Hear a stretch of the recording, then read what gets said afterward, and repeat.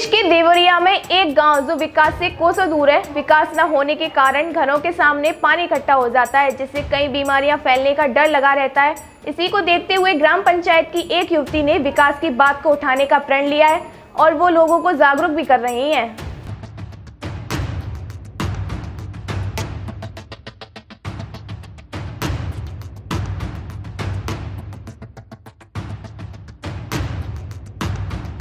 आज हम बात करेंगे एक ऐसे गाँव की जहाँ लोग विकास की बात करने से भी कतराते हैं। विकास के नाम पर ग्राम पंचायत में नाली तक नहीं है, लोग अपने घरों का पानी अपने दरवाजे पर इकट्ठा करते हैं, जिससे अनेकों बीमारी पैदा होने का डर लगा रहता है। उसी ग्राम पंचायत में एक ऐसी युवती है जिसने ग्राम पंचायत की विकास की बातों को उठाने का प्रण किया है और ग्राम पंचायत के लोगों को विकास के बारे में जागरूक करने का काम शुरू किया है। वह पूरे ग्राम पंचायत में लोगों से घूम घूम कर विकास के नाम पर लड़ाई लड़ने हेतु लोगों को अपने साथ खड़ा होने के लिए प्रेरित करती हुई नज़र आई। और साथ ही लोगों को जागरूक करने में भोजपुरी फ़िल्म स्टार वैभव राय ने लोगों को जागरूक करने वाली बबीता पासवान का हर संभव मदद करने का भरोसा दिलाया। और उन्होंने खुद ग्राम पंचायत में जाकर लोगों को अपने ग्राम पंचायत के विकास कार्यों को कराने के लिए एकजुट होकर उच्चाधिकारियों तक बात पहुँचाने के लिए प्रेरित किया। तो वहीं हमारे संवाददाता ने ग्राम पंचायत में जाकर लोगों से बात करने की कोशिश की। तो बहुत सारे लोगों ने कैमरे के सामने कुछ भी बोलने से मना कर दिया। तो वहीं कुछ लोगों ने कहा कि हमारे ग्राम पंचायत में विकास नहीं हुआ है जबकि विकास होना चाहिए। आज हमारे गाँव की पढ़ी लिखी लड़की ने गाँव के विकास कराने का बीड़ा उठाया है जिसका हम ग्रामवासी पूर्ण रूप से सहयोग करेंगे और उसके कदम से कदम मिलाकर चलने का काम करेंगे। विकास होना चाहिए लेकिन विकास यहाँ अभी तक कुछ नहीं हुआ। क्यों नहीं हुआ? अभी तो मान लीजिए यहाँ का सरकार जाने यहाँ के लोग जाने। सरकार तो सारी सुविधाएँ दे रही है आपको। सरकार सुविधाएँ दे रही है लेकिन नहीं आ पाती है। इसका मुख्य कारण क्या है?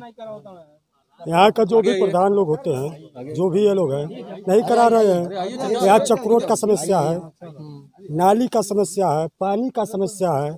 आप देवरिया जनपद से सटे हुए आपकी ग्राम सभा है जहाँ एक तरफ़ मेडिकल कॉलेज का निर्माण हो रहा है जहाँ फोर लेन की सड़कें बन रही हैं वहाँ आपके ग्राम सभा में न तो दुरुस्त शौचालय है और ना ही रोड और नाली की व्यवस्था है। तो क्या आप नहीं चाहते हैं आपकी ग्राम सभा विकास एकदम हम लोग चाह रहे हैं भाई। तो इसके विषय पे आपने क्या कभी किसी शिकायत की अधिकारी से? बहुत शिकायत हुआ लेकिन शिकायत का सुनवाई नहीं होती है। अभी आप क्या चाहते हैं? ग्राम सभा विकास आपके हो? हाँ एकदम। आपके ग्राम सभा से एक लड़की निकल के हाँ। और इतने आवाज़ उठा रही है आप लोगों के लिए। हम्म।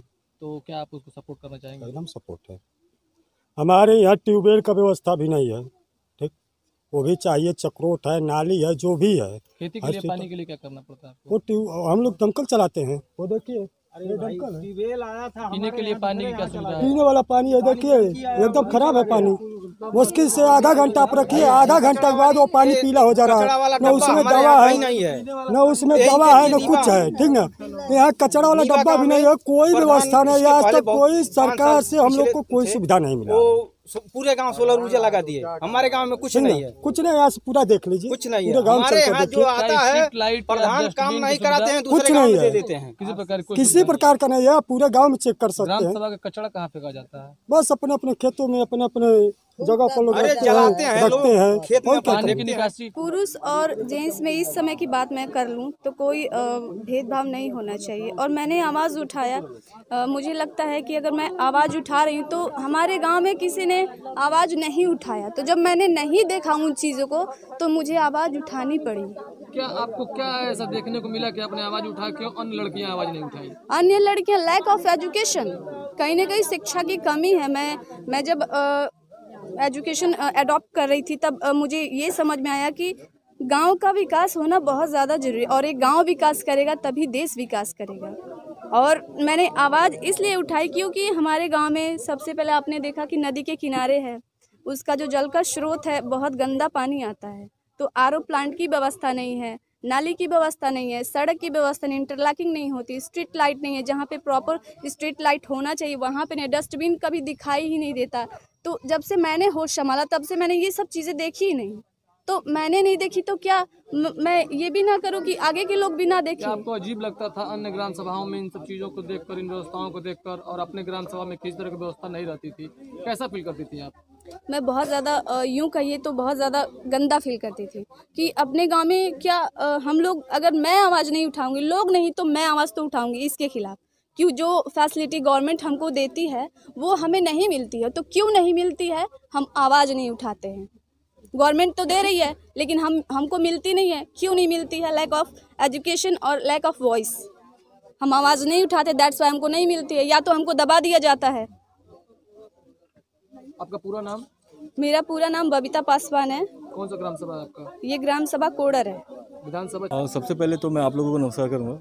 इसलिए कि थैंक्सफुल इसलिए कि सच में मुझे लग रहा था कि विकास के नाम पे सब चीज़ें हो रही हैं, लेकिन एक कलाकार होने के नाते आज मैं कहूँगा बबीता जी यहाँ आइए सिर्फ़ और सिर्फ़ कलाकार के नाते मैं बबीता जी का सपोर्ट इसलिए कर रहा हूँ कि ये भी एक कलाकार हैं और कहीं ना कहीं ये लोगों से जुड़ी हुई हैं। आज जब डीएम से बात होती है एसडीएम से बात होती है, आज एक लड़की होके, आज ऑफिसरों के सामने अपने गाँव की समस्या, अपने लिए पर्सनल नहीं, अपने गाँव की समस्या को लेके जब आती हैं तो बड़ा एक अजीब सी फीलिंग आती है कि कम से कम ये इसको लेके आवाज़ उठानी चाहिए। जब इन्होंने अपने बारे में बताया, अपने गाँव के बारे में बताया तो एक कलाकार होने के नाते मेरा फ़र्ज़ बनता है कि जहाँ ये जाए, वहाँ मैं भी जाऊँ और देखूँ चीज़ों को। सच में देख के मुझे कभी इतना मैंने बहुत सारे गाँव में शूटिंग किया है, लेकिन कम से कम एक पानी की व्यवस्था होती है। आज आर का पानी हर जगह फैसिलिटी है, मेरा भी गाँव है। आज कहीं ना कहीं मैं भी देवरिया का हूँ मेरा भी गाँव है। आज आर की फैसिलिटी है, पानी का फैसिलिटी है लाइट्स की फैसिलिटी है। बट यहाँ आने के बाद कुछ देखने को ही नहीं मिला, सच कहूँ तो। लोगों के घर के सामने इतना ज़्यादा कचरा, पानी है, आखिर ये बीमारी का घर है। तो मुझे लगता है कि इनका एक लड़की होने के नाते आज समाज के लिए, अपने गाँव के लिए और समाज के बीच में जाके खड़े खड़े होकर अपने गाँव की समस्या बता रही हैं तो सबसे पहले समाज नहीं आएगा। आपके गाँव के, आपके अपने लोग आने चाहिए। मुझे लगता है कि आप लोगों को जागरूक होना चाहिए यहाँ पे। कम से कम आप गाँव के नाते कम से कम लड़की का सपोर्ट करें। आप वेल क्वालिफिकेशन है, आज पढ़ी लिखी है तो आज नाम उठा रही है। आज हम लोग का हमको नहीं पता था आपके गाँव में ये सब समस्या है। इतने सालों से समस्या है। लेकिन कहीं ना कहीं उस पर अगर किसी ने रोशनी डालने का काम किया तो ये बबीता जी कर रहे हैं। और डेफिनेटली हम लोग कहीं ना कहीं आगे चल के इसको बहुत बड़ा मुहिम बना रहे हैं। चीज़ों को आगे आगे जैसे कार्रवाई होगी इस कार्रवाई को हम लोग अंजाम देंगे। डेफिनेटली देंगे। एक लड़की ही आवाज़ उठा रही है? अब सच्चाई तो मुझे समझ में नहीं आ रही कि कम से कम ये बहुत गर्व की बात है हमारे लिए। और डेफिनेटली आज आप हर चैनल न्यूज़ पर देखते होंगे कि लड़कियाँ ही लड़कों से आगे है। तो डेफिनेटली एक एक एक मैं मिसाल पेश करूँगा कि यहाँ के लोग मुझे नहीं लगता कि अब ये सब होने के बाद अगर ये लोग सपोर्ट करते हैं तो बहुत अच्छी बात है। और मैं बहुत मुझे बहुत अच्छा लग रहा है कलाकार होने के नाते और ये कलाकार हैं।